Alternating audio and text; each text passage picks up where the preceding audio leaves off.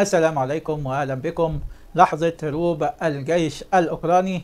أمامنا الآن لحظة هروب الجيش الأوكراني.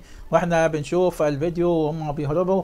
هنتكلم عن ما يدور من أحداث آه، آه، صدام روسي أمريكي يلوح في الأفق.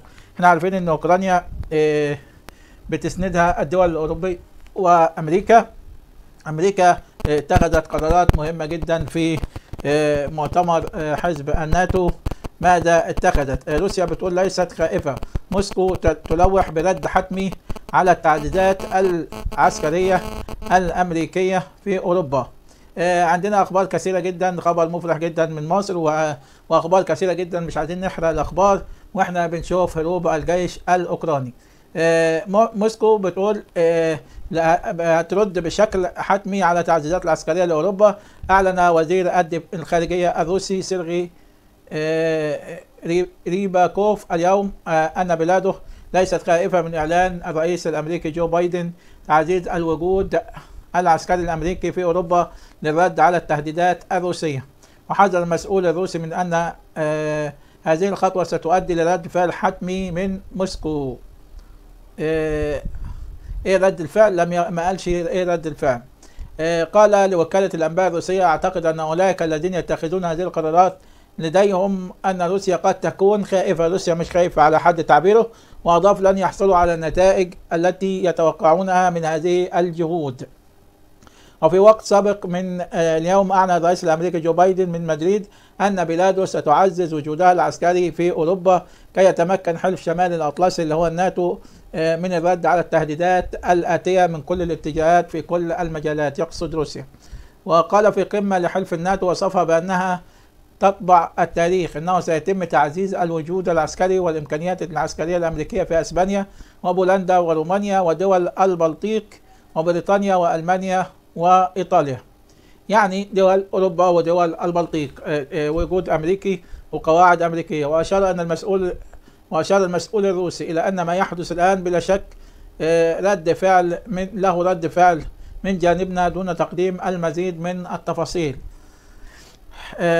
روسيا بتقول يعني بتقول إني لازم نرد على هذه الحشود. آه، وقبل كده في الحرب العالمية الثانية حشدت أوروبا كلها ضد الاتحاد السوفيتي.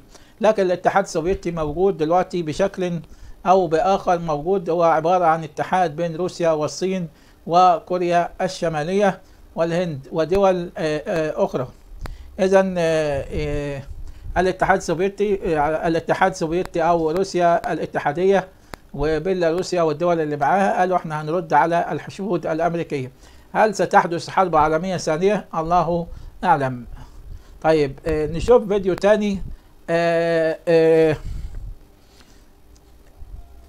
تم سقوط صاروخين في العاص- في العاصمة كييف. بجوار حديقة. شوفوا كمية الذعر اللي حصل في الشارع. والناس عملت إيه في الحديقة؟ قدامنا الفيديو أهو. بس وإحنا بنشوف الفيديو هنقول خبر آخر. أول دولة عربية تعترف باستقلال وسيادة جمهوريتي لوغانسك ودونتسك قرر النظام السوري اليوم الاعتراف باستقلال وسيادة كل من جمهورية لوغانسك ودونتسك آه، وقال مصدر رسمي في وزارة الخارجية والمغتربين تجسيدا للإرادة المشتركة والرغبة في إقامة علاقات في المجالات كافة فقد قررت الجمهورية العربية السورية الاعتراف باستقلال وسيادة كل من جمهورية لوغانسك الشعبية وجمهورية دونتسك ووكالة الأنباء السورية سنة وفق وكالة وفق ما أوردته وكالة الأنباء السورية سنة آه، معروف أن هذه آه، ثاني دولة آه، تعترف باستقلال جمهورية لوغانسك ودونتسك بعد روسيا وتعتبر أول دولة عربية تعترف باستقلال هاتين الجمهوريتين. إذا روسيا آه، سوريا وروسيا يعترفان باستقلال جمهورية لوغانسك ودونتسك الشعبيتين. وبشار الأسد قال أنه أكد استعداده للاعتراف التام وإرسال سفارات وتبادل وكانوا عنده آه، آه، مبعوثين من جمهورية لوغانسك ودونتسك في سوريا. طيب آه هنشوف آه فيديو آخر آه منظومة حرب إلكترونية للشوشرة على الطائرات المسيرة. آه روسيا عملت منظومة حرب إلكترونية وإحنا بنشوف منظومة الحرب الإلكترونية. هنقول خبر جميل جدا من مصر. آه، وكالة آه، وكالة أخبار قالت إن مصر ستصبح أكبر مصدر لزيت الوقود إلى السعودية بفضل التدفقات الروسية.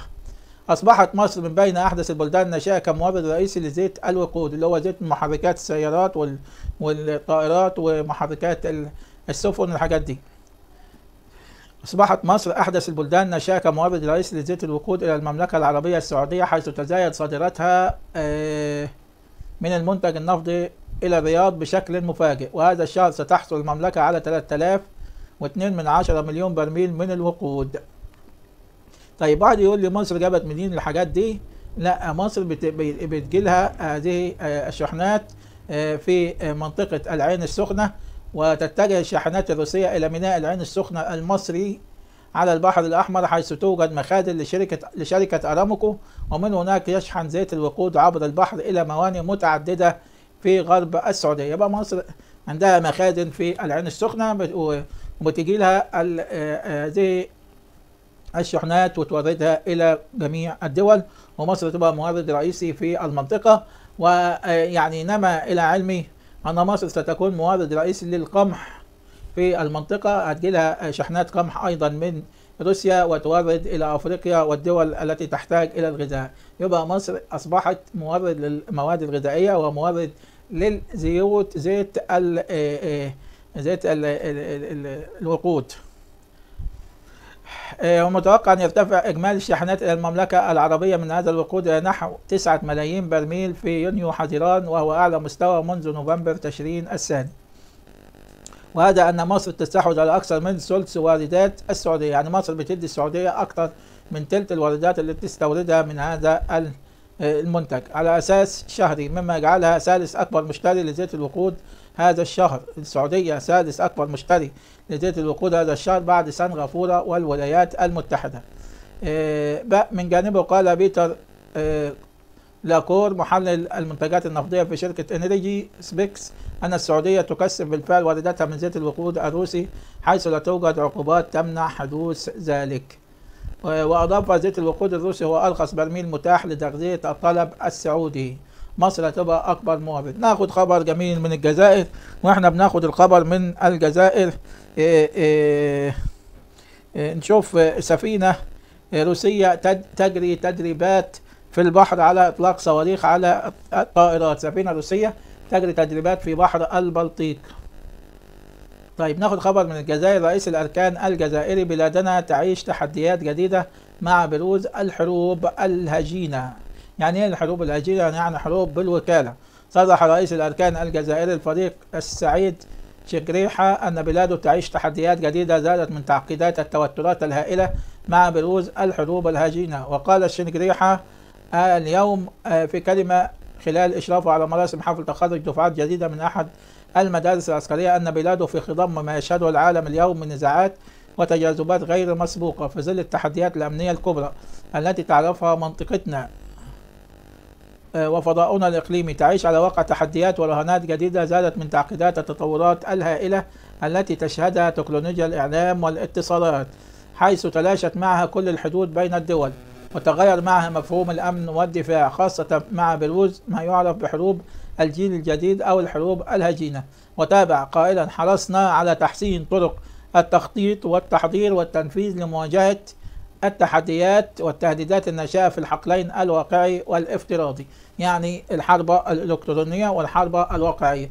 بيقول إن مفاهيم الدفاع اتغيرت والحدود اتفتحت يعني ممكن أي دولة تهجم على أي دولة هجمات إلكترونية تضيع كل السيستم بتاع آه، منظومة الدفاع لهذه الدولة. بوتين. آخر خبر من السودان إحنا قلنا إن في ناس مع البرهان وناس ضد البرهان. فأنا نشرت الفيديو السابق ولما نشرته كان صوت الفيديو اللي بيقول بالروح بالدم لم يظهر. عليكم فيديو عن آه، بالروح بالدم نفديك يا برهان ومظاهرات غفيرة مؤيدة للبرهان. في المظاهرات في مظاهرات مؤيدة ومظاهرات مع يعني معارضة وحفظ الله السودان من كل شر. والسودانيين بيقولوا إحنا يعني نسمع طيب؟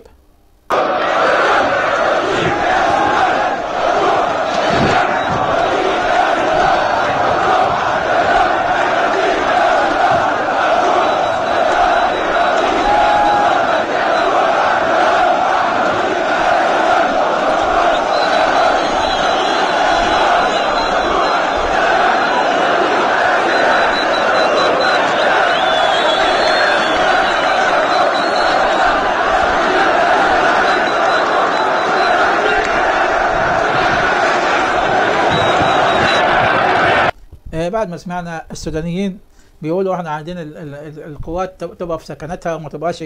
طيب مين؟ هل هل يوجد بديل لل- للمظاهرات دي ولا تصرفات غير حكيمة؟ هل يوجد رئيس مطروح ولا رئيس وزراء مدني؟ طب ما هم جابوا حمدوك وفشل وقدم استقالة جابته السلطات اللي هي ال- ال- ال- ال- الحرية والتغيير وكده وفشل. طيب هل لا يوجد في السودان رجل مدني يحكم آه، يكون رئيس وزراء؟ هو حبوا الجيش حب يت- يتفاوض. مع المتظاهرين رفضوا رفض كامل. طب ده كده توصلوا لطريق مسدود وكل يوم مظاهرات وكل يوم ناس تموت اليوم يعني آه، توفت ناس من الشرطة والجيش وتوفت ناس من المتظاهرين.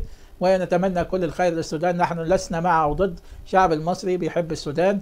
اوعوا تصدقوا إني يعني حد في مصر يكره السودان لأن قوة السودان من قوة مصر وقوة مصر من قوة السودان.